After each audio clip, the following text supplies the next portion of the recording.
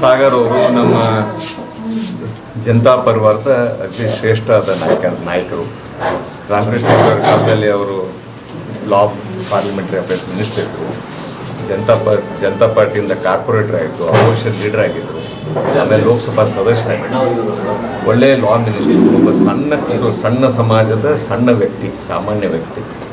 ಅವರು ಚಿಕ್ಕಪೇಟೆಯಿಂದ ಆರಿಸಿ ಬರ್ತಾಯಿದ್ರು ಒಬ್ಬ ಲಾ ಮಿನಿಸ್ಟ್ರಿಗೆ ನಮಗೇನು ಅವಾಗ ನಾವು ಹೊಸದಾಗಿ ಒಳಗಡೆ ಬಂದಾಗ ಲಾ ಮಿನಿಸ್ಟರ್ ಯಾರಪ್ಪ ಅಂದರೆ ಲಕ್ಷ್ಮೀ ಸಾಗರ್ ಅಂತವ್ರೆ ಲಾ ಮಿನಿಸ್ಟರ್ ಇರಬೇಕು ಅನ್ನುವಂಥ ಅಷ್ಟು ಅಧ್ಯಯನ, ಅಷ್ಟು ಲಾ ಬಗ್ಗೆ ಅರ್ಥ ಮಾಡ್ಕೊಂಡು ಆಫೀಸ್ನಲ್ಲಿ ಬೆಳಗ್ಗೆ ಹತ್ತು ಗಂಟೆಗೆ ಹೋಗಿ ಆಫೀಸ್ನ್ಯಾಗ ಕೂತ್ರೆ ರಾತ್ರಿ ಏಳುವರೆ ಎಂಟು ಗಂಟೆಗೆ ವಿಧಾನಸೌಧ ಬಿಟ್ಟು ಹೊರಗೆ ಬರ್ತಾಯಿದ್ರು ಅಷ್ಟು ಸಿನ್ಸಿಯರ್ ಆಗಿ ಮಾಡ್ತಿದ್ರು. ವಿಧಾನ ಪರಿಷತ್ನಲ್ಲಿ ಅವರು ಉತ್ತರ ಕೊಡ್ತಿದ್ರು. ಭಾಳಷ್ಟು ಕಾರ್ಪೊರೇಟ್ರಾಗಿ ಒಳ್ಳೆ ಕಾಯ್ದೆ ಮಾಡಿದ್ದಾರೆ ಸಾಮಾನ್ಯ ಕಾಯ್ದೆ ಮಾಡಿದ್ದಾರೆ ಅಂತ ಒಬ್ಬರು ನಾಯಕರದ ತೊಂಬತ್ನಾಲ್ಕನೇ ಪುಣ್ಯತಿಥಿಯನ್ನು ನಮ್ಮ ಆಫೀಸ್ನಲ್ಲಿ ನಮ್ಮ ನಾಗೇಶ್ ಅವರೆಲ್ಲರೂ ಕೂತ್ಕೊಂಡು ಆಚರಣೆ ಮಾಡಿ ನನ್ನ ಇದರಲ್ಲಿ ಮಾಡ್ತಾ ಇದ್ದಾರೆ. ಇದು ನಮ್ಮ ಹೆಮ್ಮೆ ಕೆಲಸ ಅದಕ್ಕೆ.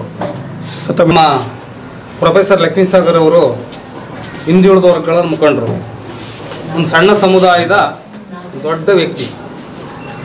ಇವತ್ತು ಒಂದು ಕಾರ್ಪೊರೇಟ್ ಎಲೆಕ್ಷನ್ ನಿಂತು ನಾಲ್ಕು ಕೋಟನ್ನು ತಗೊಳ್ಳಿಕ್ಕೂ ಕೂಡ ಆಗಲ್ಲ, ನಾಲ್ಕು ಮತಗಳು ಓಟು ಕೂಡ ಇಲ್ಲ ಚಿಕ್ಕಪೇಟೆ ಕ್ಷೇತ್ರ. ಅಂಥ ಒಂದು ಕ್ಷೇತ್ರದಲ್ಲಿ ಕಾರ್ಪೊರೇಟರ್ ಆಗಿ ಎಂ ಎಲ್ ಎ ಆಗಿ, ವಿರೋಧ ಪಕ್ಷ ನಾಯಕರಾಗಿ ಎಂ ಎಲ್ ಸಿ ಆಗಿ, ರಾಜ್ಯಸಭೆ ಸದಸ್ಯರಾಗಿ, ಜನತಾದಳದ ರಾಜ್ಯ ಅಧ್ಯಕ್ಷರ ಅಲ್ಲ ಏನು ಕಾರ್ಯ, ಕಾರ್ಯಾಧ್ಯಕ್ಷರಾಗಿ ಉತ್ತಮ ಕೆಲಸಗಳನ್ನು ಮಾಡಿ ವಿಧಾನಸಭೆಯಲ್ಲಿ ಅವರು ಮಾತಿಗೆ ನಿಂತರೆ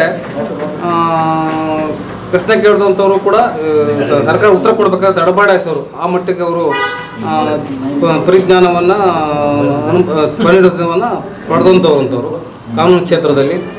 ಯಾವುದೇ ಪ್ರಭಾವಗಳಿಗೆ ಆಮಿಷಗಳಿಗೆ ಒಳಗಾಗದೆ ಮುಜುಗರಕ್ಕೆ ಇದಾಗದೆ ಸಮುದಾಯವನ್ನು ಅಷ್ಟನ್ನೇ ಪರಿಗಣಿಸದೆ ಮಾ- ಸಮೂಹ ಸಾಮೂಹಿಕ ನಾಯಕತ್ವದಲ್ಲಿ ಅವರು ವಿಜೃಂಭಿಸಿದಂಥ ವ್ಯಕ್ತಿ ಅಂಥ ಒಂದು ವ್ಯಕ್ತಿಯ ಜನ್ಮ ದಿನಾಚರಣೆ ಇವತ್ತ ನಾವು ಶ್ರೀಯುತ ನಾಡಗೌಡರ ನೇತೃತ್ವದಲ್ಲಿ ನಾಗೇಶ್ರವರ ಆ, ಪ್ರೇರಣೆಯಿಂದ ನಾವು ಮಾಡ್ತಾ ಇದ್ದೀವಿ.